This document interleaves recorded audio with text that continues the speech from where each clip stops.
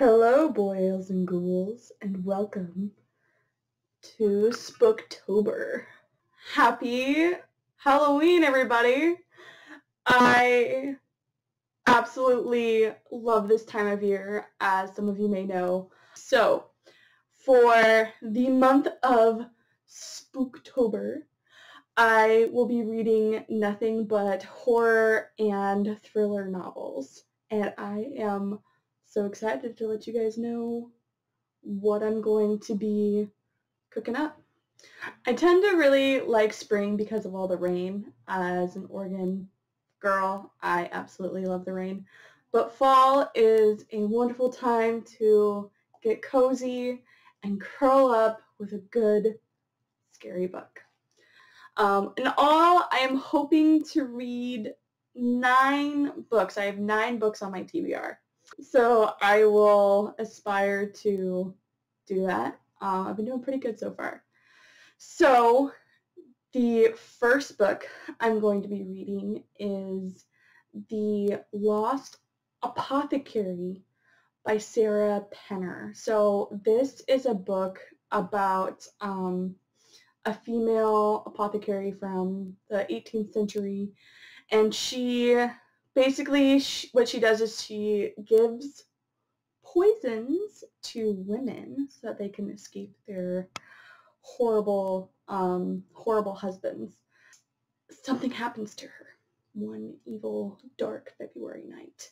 And centuries later this historian named caroline Parcewell finds an apothecary vial and delves down into to uncover the truth and the mystery of what happened to this secret apothecary.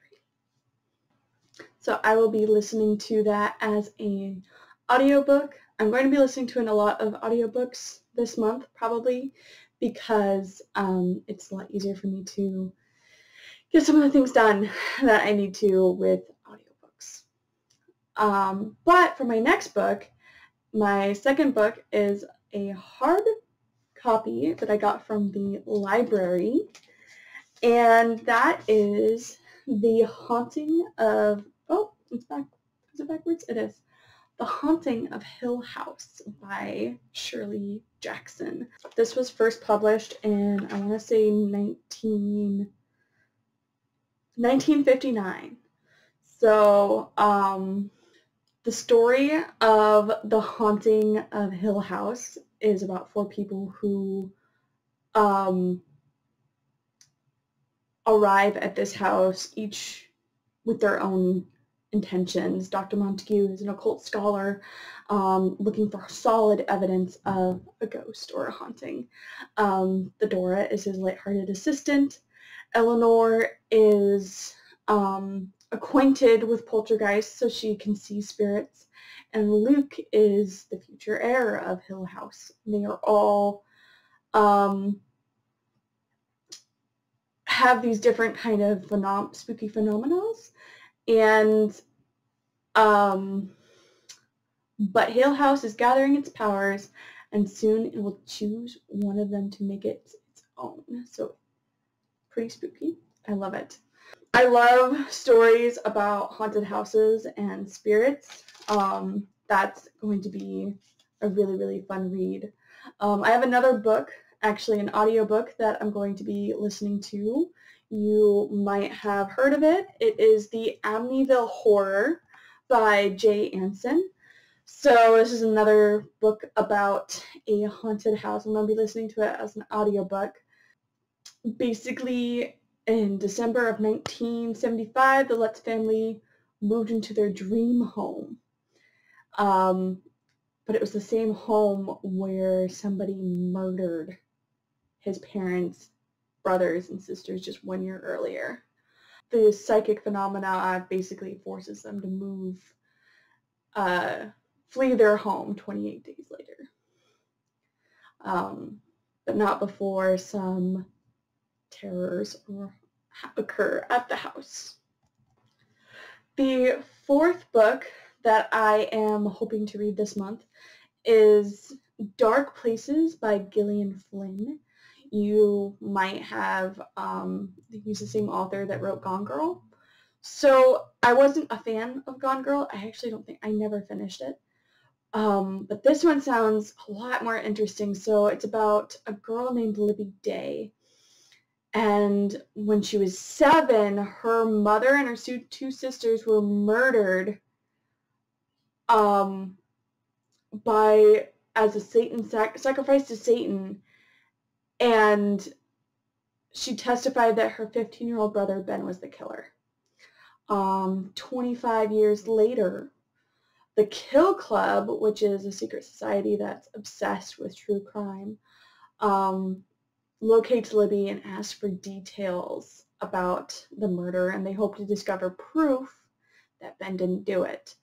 Libby's just there to make money. She's hoping that she can earn some cash from this, but um, starts to discover some truths about her past. Unfortunately, comes across the path of a killer. Murder mystery, I love it. Will they find out who it is in time? Was it really her brother? Who knows? I'll find out. I am reading a couple of really good classics this month as well. I am I've already started on Frankenstein by Mary Shelley.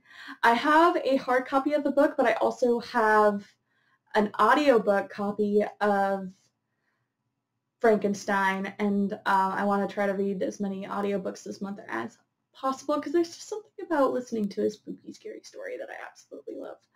Um, so Frankenstein is about this uh, scientist, and it turns out that he's like just super into the idea of philosophy and um, what it means to be human, um, psychology and stuff like that. And a lot of people have thought that, oh, that's not really real science. But he ended up doing research about what it means to be a man and what different components it takes and creating a person.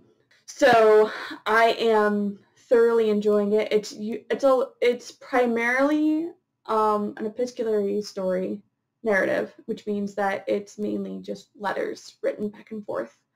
Um, and that's how the story is told, but I am really enjoying listening to it. The last book that I'm going to be listening to as an audiobook, hopefully, if I can get it done in time, because I am listening to a lot of audiobooks this month, is The Hounds of Baskerville by Arthur Doyle. Uh, I've never actually read any Sherlock Holmes before, so this will be really fun. So this is about the sudden death of Charles Baskerville. Um, and he had been said to be haunted by a ghostly hound that has been haunting his family for generations. Um, so Sherlock Holmes is on the case to dismiss this spooky theory. I saw the movie based on this, um, so I kind of know what happens. I'm interested to see if the current, if the up-to-date movie adheres to the book. Um, so I'm really looking forward to that. And you just can't have a horror marathon, horror book marathon without the king. He is one of my favorite authors. I just absolutely love his realistic, like, psychological story writing, and it's very like thriller and very dark and it gets like listening and getting the inside view of the people in the narratives and how real they are is just absolutely phenomenal. So I'm currently going to be reading Cujo. I've already started this book. I started this book this summer. Um, a lot of you already know what Cujo is about. It's about this possessed dog. So the friendly neighborhood dog Cujo um, goes into a rabbit's den and uh, comes out possessed. I'm not sure who did it, but now he's no longer the neighborhood good boy. He is something else. Um, so I'm really excited to read this and I might actually possibly watch the movie as well. And the second Stephen King book, so the eighth book I'm going to be reading, is a book that I've read before, but it's also on my 100 essential books to read in your lifetime list. And I really want to um, follow through with that, and that is Misery by Stephen King. Um, I read this book in high school, and I really, really enjoyed it. I remember that. But I haven't read it like as an adult, and I want to reread it as an adult. Um, Misery is about this guy who um, gets in a really bad car accident. He, he's a he's a famous author, and he gets into a really bad car accident, and he is essentially kidnapped by his number one fan. Um, and so sh- she's like nurturing him back to health, but also forcing him to write like his last novel. Um, so it's really, really cool. I remember loving it, but I really would like to, again, read the book and then immediately watch the movie. I've heard a little bit about the movie, but I've never seen it. So I want to actually see it and kind of do a little bit of a comparison. And last but not least, um, the last book that I have on my TBR, if I don't get to it, it, it's on my, the last one on my list because if I don't get to it, I just don't get to it. Because um, this, it doesn't really go along with the theme of this month, but that is Harry Potter and the Half-Blood Prince. So even though I'm, I might not get to this book, it's going to be, it's not on my priority list, but I am super excited.